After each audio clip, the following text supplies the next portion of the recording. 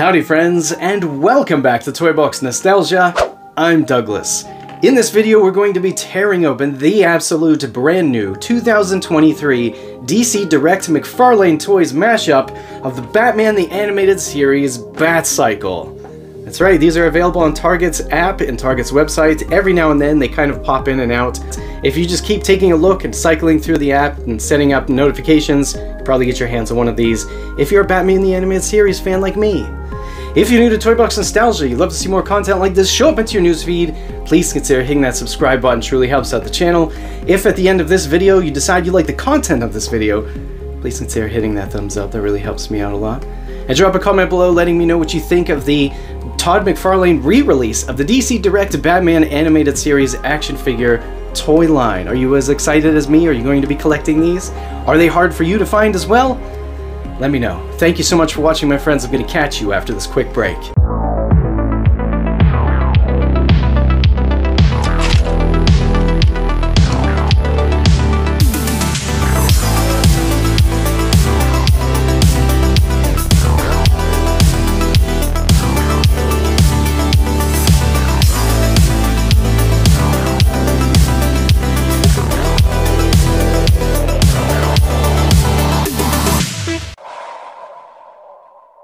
Here it is, my friends. Let's go ahead and tear this open. Really excited. I do have a Batman action figure here from the 4-pack that we just recently opened on the channel. Not sure how well it's going to fare here on here because, well, it has a rubber cape. And I'm not sure if these hands are going to fit, but we'll give it a try anywho. Let's take a look at the packaging first. This is incredible, right? Look at that beautiful artwork from the TV show. Oh, I love that. I love that font. The dark deco look to this is fantastic. Here we see we do have a smoke effect and it does light up. It comes with a card. It comes with a brand new head for Batman to, for him to wear his helmet when he's riding on his bat cycle. Taking a look at the top, it says DC Direct and McFarlane Toys, and we have that same Batman the Animated Series logo on the side, just says Bat Cycle. The window does in fact wrap around to the left side of the box, says Batman the Animated Series, and we have that just beautiful artwork. I love this. I love the style of this stuff. I think it looks fantastic. Over here on the right side of the box, we do have a small window in here. Can't really see too much in there. You can kind of see the Bat Cycle in there a little bit. It does say Bat Cycle. It says Batman the Animated Series, DC Direct, and McFarlane Toys. Flipping over to the back, this is where all the fun stuff is, right? Take a look at that. We have Batman the Animated Series, Bat Cycle, fits most six inch figures. Very cool. And then we have him here sitting on the bat cycle and shows the smoke effect right there. And it's in all different languages right here. I purchased this from Target uh, using just using the app. I just set up an alert and whenever they said they were in stock, I was able to order it and it came in a couple of days. Here we have the directions on how to set the bat cycle down onto the smoke effect. And this is how you put batteries into the device. Down here on the bottom, we have a caution here. It says batteries and small parts should be kept away from children. We do have the barcode over here in case you need it for some goofy reason. Let's go ahead and tear this open, my friends. Come on, there we go. Hopefully that's enough to get this open and out.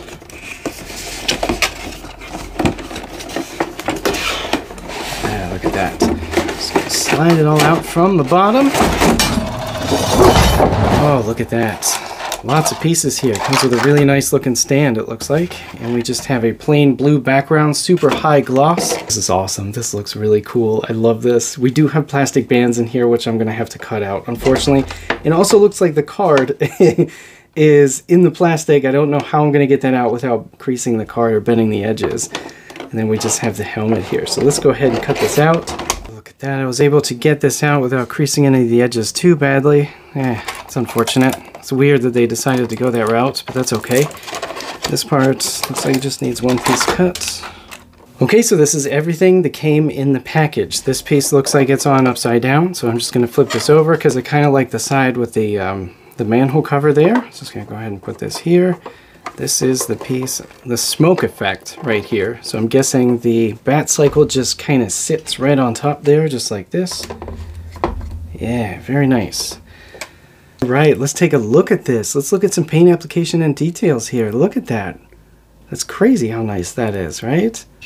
So we have a speedometer here. We have an, what looks like an RPM gauge there. I'm pretty sure this stuff lights up, which is super cool. Look at that. The wheel can turn, so you can get some really cool poses of Batman driving the Batcycle.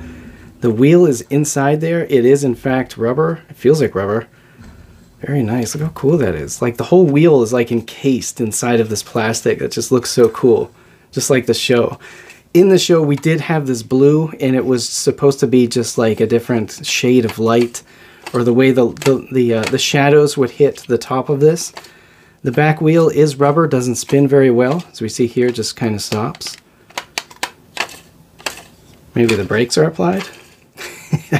Let's see if make sure the brake isn't applied. Yeah. All right, flipping over to the bottom, we do have this button which turns on the lights here, but it's not working right now because we have to slide this piece out from the batteries and that makes the batteries have a connection and we see that it does in fact light up. That's nice. That's really nice. It does have a tail light. Very, very cool. This thing is really shiny, like hard plastic. The whole thing is very shiny and just hard plastic. Taking a look at the bottom, that's where the batteries go inside, right there. Take a little screwdriver. Do not throw the batteries away. And yeah, that's pretty much it. Let's take a look at this card here. Actually, let me turn this off for now. And the, the non-sport trading card right here shows the Bat Cycle in its cartoon form. It does show the Batman the Animated Series logo right there. Very cool. Flipping over to the back here, it says Batman the Animated Series Bat Cycle Data File. The Bat Cycle is Batman's sleekest mode of transport and perfect for allowing the hero to race at breakneck speeds through the streets of Gotham City. And then we have DC and Warner Brothers information down here. Very cool, very plain looking non-sport trading card. Looks really cool. Let's take a look at that head sculpt right there. Ah, very nice. So we have some blue up here, and then the rest is all black. It is a, like a, um, I guess it's a little bit of a softer plastic, you know, typical head style. He does have a mouth, though it's kind of hard to see. As you see right there, there's no black line on it. It's just like sculpted on, and his eyes look really cool. This is so cool. I remember him wearing this helmet. So let's go ahead and take a look at what that looks like on the action figure. Okay, so I got the head on the peg, but the bottom peg came out when I tried to remove it to put the cape back on. And the reason why I took the cape off was just to ensure that it was in fact making a, a connection there. Let's see if I can't get that snapped in now. So that's what he looks like with his helmet on. Essentially, it's just a different head sculpt that you just pop on and off. Uh, but I'd recommend warming this baby up before doing that. Let's go ahead and see what he looks like on the Bat Cycle itself. Yeah, look at that right there. So his feet are planted on these parts right here on either side. As we see there, and his hands do hold on to the handlebars really well, actually. Uh, he can he can't really look up too much. If I were to take toy photographs of this, I would try to probably just pop this off and use some sort of uh, sticky tack to like hold it facing completely forwards. To me, he kind of looks a little bit too big for the Bat Cycle, or I'm not sure. I, just, I feel like the action figure may be a tad too big. But at the same time, I can't get his ass to sit down onto the seat uh, with his feet planted on here. I mean, I could probably try again. Yeah, I'm to be honest with you. The problem is um, you can plant his ass on the seat to get him to look, and he does look more natural on the bike this way. Uh, but I can't seem to get the feet. The legs don't go up any higher on this version of Batman uh, to get the feet perfectly, uh, or I'm sorry, to rest onto this part here.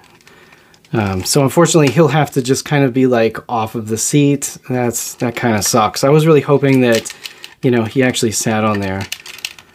Um, but yeah, the problem is this: like the thigh doesn't go up any higher, you know, to make it actually the the feet actually land on these pegs. If we take a look at the toy photograph there, I didn't even notice this before.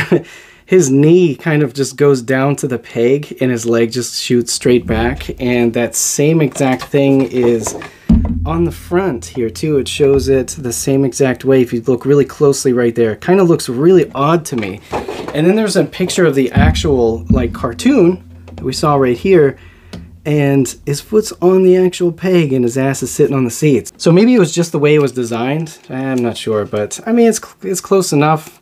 Alright, so let's find out what this baby looks like with the lights off in the room and the lights on on the bat cycle. So I'm to flip it over, turn the lights on.